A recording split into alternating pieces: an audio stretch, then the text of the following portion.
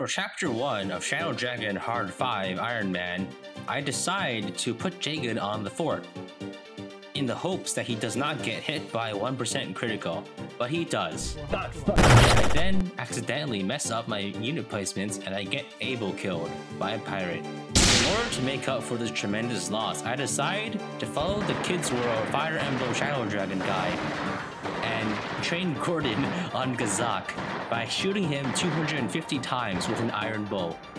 At the end of this grueling training arc, Gordon is now level 16 and he has gained 2 strength.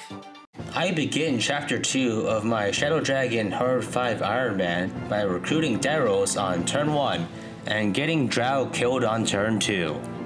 The level 16 Gordon that I trained last chapter only has 7 strength, but he also has 13 defense and 27 HP. This dummy thick archer is easily able to tank any enemy in this chapter, including the boss. I break Gomer's handbags by hitting it with Gordon's face 30 times. This allows me to train Marth and Castor by attacking this defenseless sack of meat. I manage to get Marth to level 15 and Castor to 17 before the boss dies from a crit. This entire process takes a total of 546 turns. Chapter 3 of this extremely scuffed Hard 5 Iron Man 1 is a complete cakewalk. Marth is capable of one-rounding Hard 5 enemies, which is frankly so ridiculous that it defies common sense. The boss of this chapter, Hyman, is normally quite dangerous, but only to pathetic mortals who haven't even spent 250 turns attacking a defenseless boss for EXP. This is the first and probably last chapter where I suffer zero casualties. Chapter 4 of this cursed Hard 5 Iron Man run begins with me reclassing a bunch of people into archers and forging a wing spear. I call it the Dignity so I can make a joke about it when it breaks. The chapter opens with Cain and Borde making the ultimate sacrifice to take down a thief, so I can recruit Merric slightly more conveniently. I also use Cord's soft living body as a shield for extremely minor but ultimately unnecessary tactical benefit, and he dies a grisly death. Lastly, I accidentally place Sita in range of mounted archers, and I sacrifice Wrys and Mathis as distractions, even though she was guaranteed to, to survive. we are now at the point where we can start getting replacement characters. At this point, no matter who you are, as, as a, friend, friend, you are, are replaceable. Farewell. Chapter 5 in this highly skillful Hard 5 Iron Man run introduces Wendo and the five members of the Wolf Guard. Wolf and Sedgar are infamous for their extremely high growth rates, and are a staple of any Hard 5 run. I recruit Wendo and clear most of the map, but I accidentally use my end turn button macro, and Merric becomes a stain on the pavement. I decide to farm the reinforcements for XP, but I get overwhelmed. The Cavaliers and Pegasus Knights mercilessly slaughter half my army and also the entire Wolf Guard. As a result of this massacre, Hardin, Vyland, Roche, Ogma, Navarre, Darros, Barst, and sadly, Wolf and Sedgar have all been laid to rest. Chapter 6 in this Hard 5 Iron Man run rewards us for getting everyone killed, with level 14 generic replacement units who are still complete garbage. The main feature of the chapter is a hallway where units can be flanked by large squads of powerful enemies. It is normally quite difficult to get through this area quickly when playing normally, but I overcome this challenge by having no regard for human life. I valiantly utilize human wave tactics, heroically sending Hepto, Unil, Dua, Penvo, Zestu, Trim, Quattro, Rickard, and Julian into the meat grinder to get my victory. Having successfully coded the weak, the next batch of replacement units will be much stronger. Because of my unique playstyle, the requirements for Chapter 6X, the first guidance chapter in this Hard 5 Iron Man run, are easily met. Because the average level of my army is quite high now, I am now blessed with pre-promotes for my replacement units. They come loaded with decent stats and also good weapon ranks. This will enable some interesting strategies in the future, such as having disposable effective weapon wielders. After chucking all of the replacement units into the recycling bin, I recruit Athena and debate whether or not to keep her. I choose to decide by setting her into a deathmatch against the boss. If she wins, I will train her up and use her for the rest of the run. Athena gets quite close to defeating the boss, but ultimately loses and dies. What a shame. Chapter 7 of this Hard 5 Iron Man poses two main challenges. The first is an initial charge by a large mass of flying enemies. To counter this, I reclass my generics into bow-wielding classes and line them up to form a solid defensive line. I survive the initial charge and my counterattack wipes them out. The second of these challenges are aggressive cavalier reinforcements from the south. I move quickly to occupy those forts and block further spawns, but since the reinforcement logic is weird, I get jump scared by three cavaliers the moment I move off. These surprise cavaliers manage to kill one of my generics, and one of them threatens Wendell with a 70% chance of death, but luckily he dodges. I finish off the chapter by killing off Bantu and recycling my remaining generics to get my deposit back. Chapter 8 in this Hard 5 Iron Man features a very large number of enemies that you would normally use to train Wolf or Sedgar up to level 20. However, since I got them killed on their joining chapter, I cannot fight these enemies properly. I am forced to run through and not get any of that precious, precious XP. Roger doesn't even get to fantasize about Sita before succumbing to a severe case of devil axe poisoning. Caesar, Radd, and all of my replacement units courageously died to cover my mad dash to the Seize Point. Chapter 9 in this Hard 5 Iron Man begins just like the rest with Malledus, delivering another cart of hapless idiots who will soon die for my cause. At this point, I have killed enough generics that my death counter needs an additional column. I have also exhausted the 31 unique names for replacement characters, so they have looped around and are being reused. Expect this to happen several more times during this run. I recruit the sniper, George, to get his stuff, and then I send him and the generics in a kamikaze attack to soften up the enemy forces. This Suicide Squad is completely wiped out by the pirates, but after a few close calls and some clever play, I managed to make it out without any major losses. Chapter 10 in this Hard 5 Iron Man features the first promotion item, an enemy vanguard charging in from the west and a massive number of cavalry and knight reinforcements from the north. I lose two generics dealing with the western squad and force my way into the castle, using hammers on the knights to great effect. I spend two more lives to lure and defeat the sniper squad indoors. Upon securing the castle, I use the first master seal on Castor, with a plan to make him into a general in the future. The star player of the chapter is the generic General Octu, who has 22 defense. I use him to fill the choke point at the castle door, to stone the wall the enemies so I can take them down at my leisure. Soon after clearing the map, Maria and Minerva lose their deathmatch against the boss. I reward my surviving generics for their hard work with a sweet release of death. Chapter 11 of this Hard 5 Iron Man introduces two characters, Linde and Jake. Linde is a low-level mage that comes with the Aura, a powerful 18 might tome restricted to female users.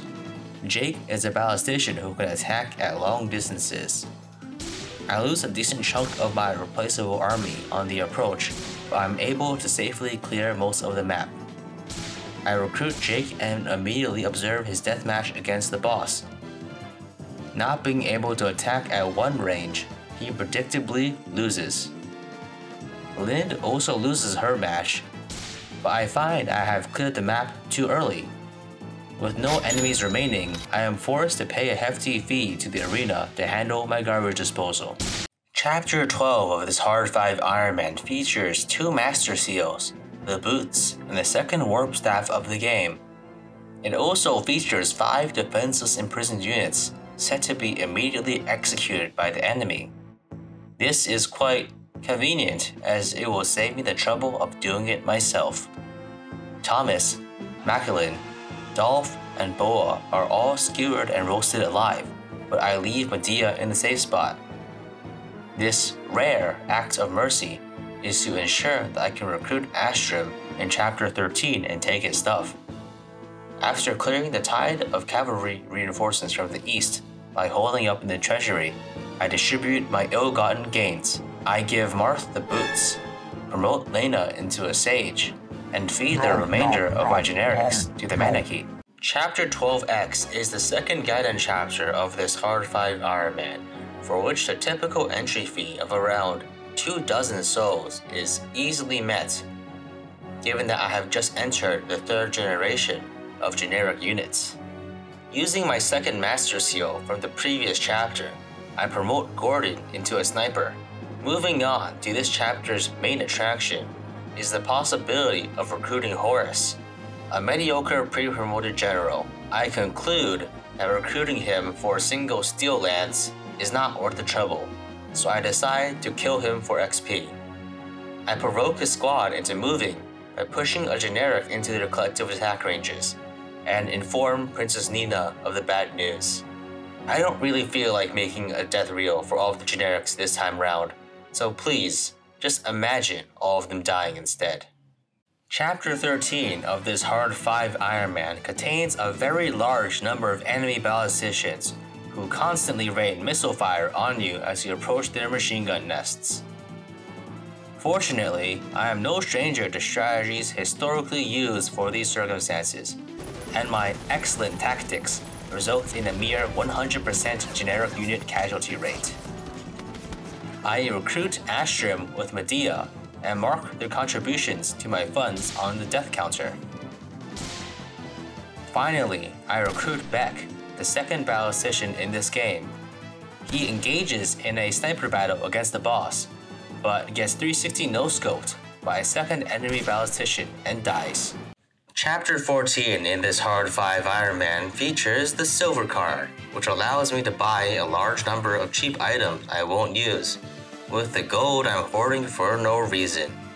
By this point, I have passed the 100 unit death mark, and have to inconveniently squeeze a third column onto a death counter. Palla and Catria recruit themselves on the orders of Minerva, clearly unaware of the circumstances of her absence. The especially bloodthirsty members of the chat demand that I recruit one of them and make the sisters fight to the death. But I decline on the grounds that it is logistically difficult to pull off. I instead send them to fight the boss with Iron Lances. Chapter 15 of this Hard 5 Iron Man features Gharnef, who you cannot defeat. I decide to be careful. ah, who am I kidding? You know what I'm going to do. Gharnef surprisingly only manages to get two kills before he gets a notification on his phone that his favorite VTuber is streaming, so he goes back to his man cave to simp. Lastly, with a heavy heart, I decide to let Wendo go. He actually has worse stats than generic bishops, and is holding them back from reaching their full potential. I decide to send him to fight a bunch of mages as part of his retirement package. Chapter 16 of this Hard 5 Iron Man gives you a choice between recruiting Samson, a bad pre promoted hero, and recruiting Arran, a bad pre promoted paladin. I rejected those answers. Instead, I chose something different. I chose the impossible. I chose to let the thief destroy both their villages and to use Xane as a rocket propelled grenade to take down the priest of the fortify staff. After promoting Sheeta, I hide my useful units in the bathysphere, while the generics outside are slaughtered by splicers. In chapter 17 of this Hard 5 Iron Man, I rolled the generic gacha and pulled the 4th, a level 13 general with 25 defense, which is good enough that I'm considering keeping him I warp Castor to the throne room to take out the Storm Bishop and snatch a VIP card with Gordon. I mobilize my generics into a hit squad to take out the two thieves, and they manage to secure the warp staff at the low cost of their lives. I accidentally place Sita into the range of a killer bow archer, so I reluctantly warp Penvo the fourth into the hallway to block the attack. The fact that he died for a purpose is in itself notable for its rarity. Chapter 17X is the third Gaiden chapter in this Hard 5 Iron Man. It has similar requirements to the previous Gaiden chapters, so the entry fee is no big deal. For me. Here, you can recruit Etzel, a pre-promoted sorcerer with good base stats and high magic, something typically not present in Shadow Dragon. I stealthily progressed the chapter by killing everything in my path and taking all the treasure. I sneak past Etzel and manage to recruit him. My plan for taking down Medeus safely will require several decent magic users, so he will be a rare addition to the team. Chapter 18 of this Hard 5 Iron Man has a large amount of enemy cavalry charging at you through a wide corridor. I pull another 5-star replacement unit from the Gacha, a generic level 15 sage named Jimenez IV, with 15 base magic, which is actually really really good. I decide to keep him and train him up. I move slowly and fight the reinforcements, taking hits with my 28 defense Castor and 23 defense Gordon. I use this to train Etzel and Jimenez, Est shows up and delivers the Mercurius before leaving to join her sisters. After clearing the map, I mess up and accidentally move Etzel in range of two stationary enemy cavaliers near the boss, and he gets decapitated, making all the effort I put into him this chapter completely pointless. Chapter 19 of this Hard 5 Iron Man features a lot of treasure and several shiny plot rocks. By this point, I have reached the 5th generation of generic units, but none of the new ones are any good. I move through the map quickly, defeating the enemy heroes by swarming them in the same way the honeybees fight gigantic Japanese hornets. I grab the Light Sphere and Geosphere and use a Warp Charge to catch the thief running away with the Star Sphere. Since I did not keep Bantu, I am unable to recruit Tiki, so I am forced to put her to sleep. Permanently.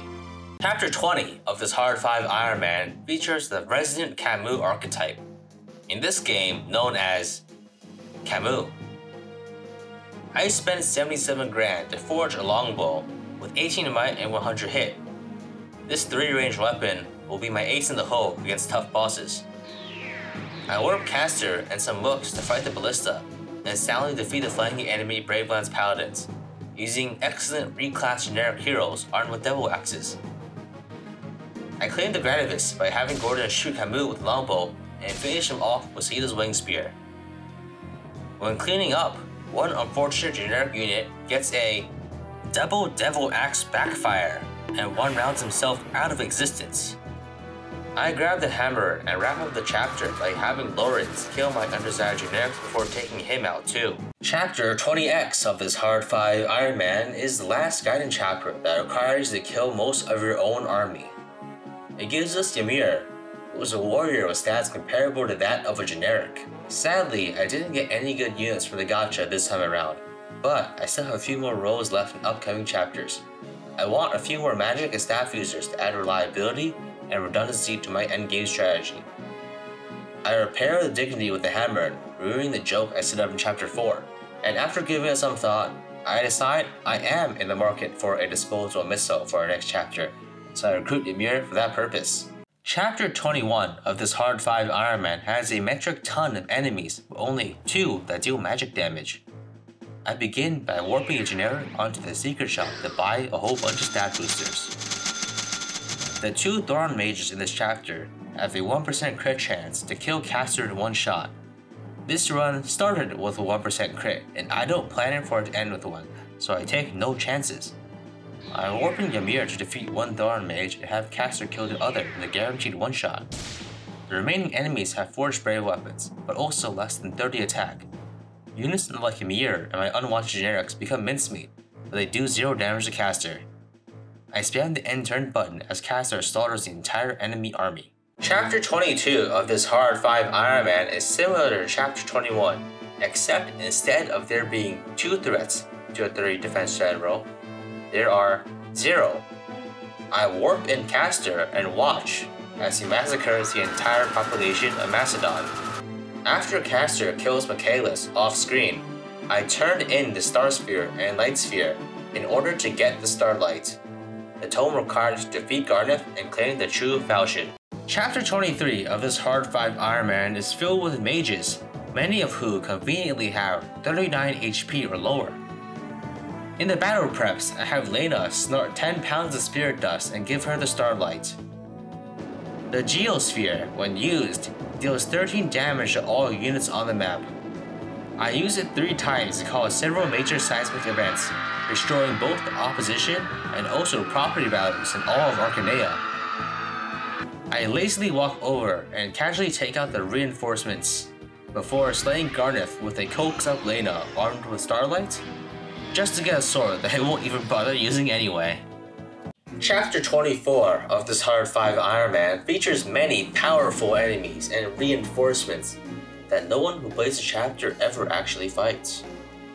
We get Elice at the start of the chapter, who I decide to keep for warp and Aum staff usage, and using the forge longbow from chapter 20, I move Gordon a couple of tiles south and shoot and kill the boss for complete safety. I grab the Aum staff and staff boosters and then warp to the seize point to finish the chapter. Since I had the true falchion, I'll be skipping past Gaiden chapter 24x and going directly to the endgame. The final chapter of this Hard 5 Iron Man sees our army split up and face the threats from all sides. We are given Gotoh, who comes with a 3 to 10 range siege tome. I pass it around between my mages to shoot the enemy ballista and healers multiple times per turn. I use my bishop to warp several characters onto the southeastern forts to block reinforcements.